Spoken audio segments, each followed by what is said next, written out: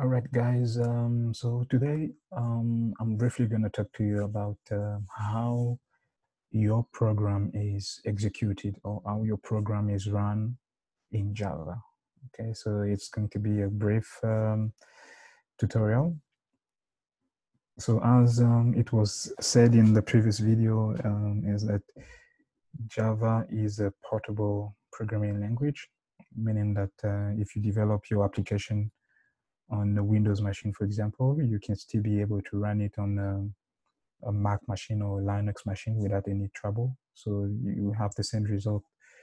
Uh, so since it's a platform independent programming language, and it's also what uh, people usually call uh, write once, uh, run always uh, programming language.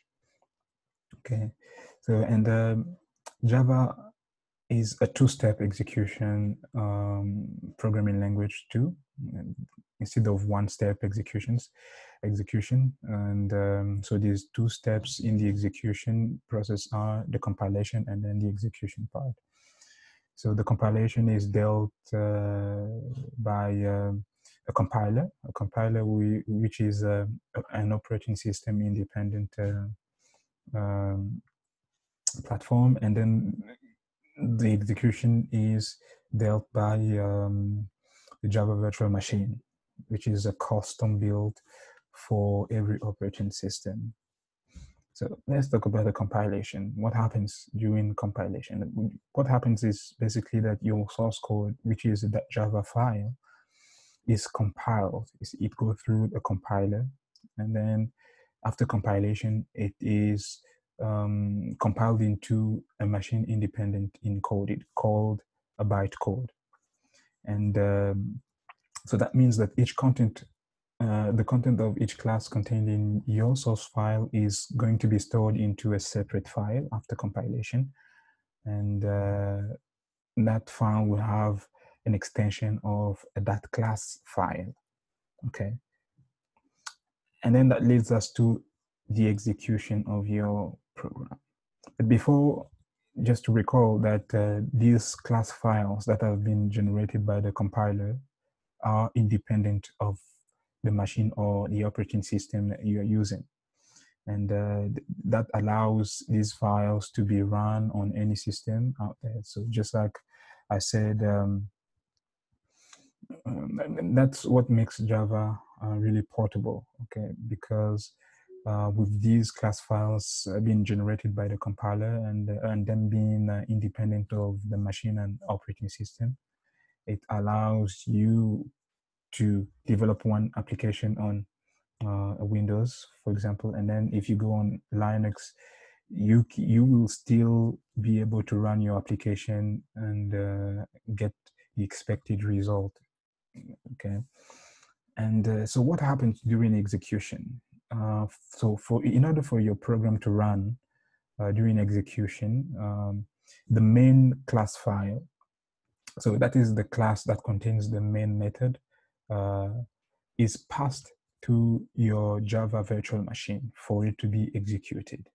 Okay, so it starts by passing your your main class file to the Java virtual machine for it to be executed.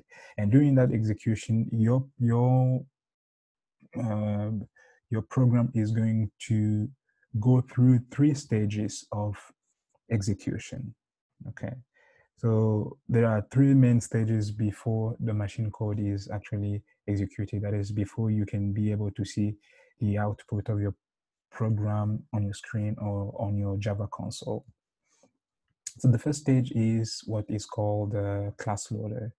And in, in this stage of the execution, what happens is that the main class is loaded um, into the memory by passing its um, that class file to the Java virtual machine. So after the main class is, being loading, loaded to the memory, and uh, all the other classes um, referenced in our program, in your program, is going to be loaded through the same class loader um, stage.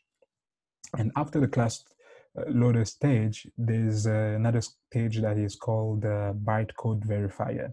So a bytecode verifier is actually there to check whether the instructions that you, you you've written in your source, source code are correct if there's no error or if these instructions would not uh, perform any uh, damaging actions okay so the bytecode of of the, all your classes that are referenced in your program are going to be inspected by that by code verifier.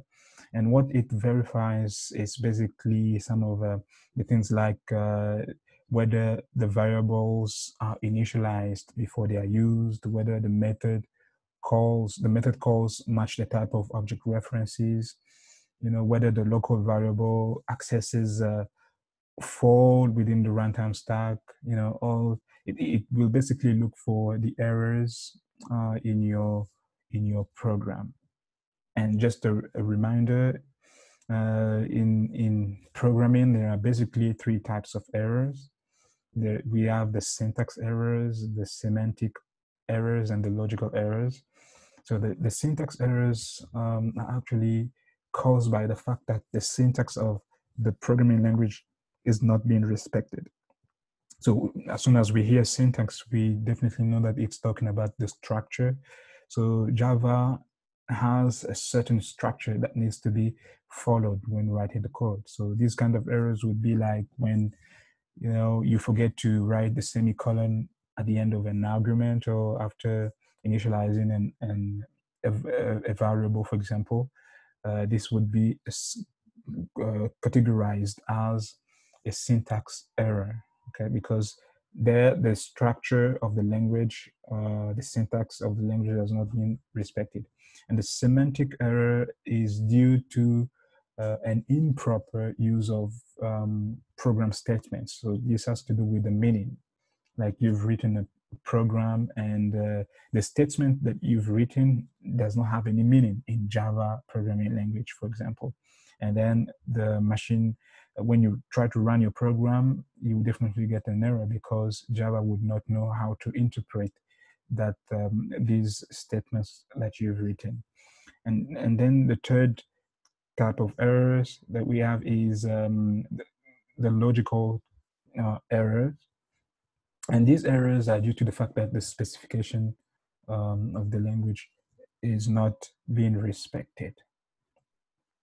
So talking about the stages, the last stage in uh, the execution of your code is uh, a stage called just-in-time compiler. So this is the final stage uh, that is encountered by your Java program and uh, its job is to convert the loaded bytecode into a machine code. So for you to actually see the output of your program on your screen or on your Java console. So due to this, um, this uh, two-step execution process, so Java is considered to be an indi- in, considered to be a, a platform independent programming language. So that means that the program, your Java program that you will write is actually going to be independent of the target operating system. So you don't need to worry about whether it's going to run on Mac, on Linux, or any other operating system, since this has already been taken care of during um, execution. And also due to this two-step execution process, um, the execution time is way more than uh, a similar program written in a compiled uh, platform dependent program. That means uh, in a one step execution process uh, will be much more faster than uh, a two step uh, execution process that Java finds itself in. So thanks a lot for watching and i hope uh, this has been uh, informative and i hope to see you um, in the next video where we'll be talking about uh, some other uh, key features of java. Thanks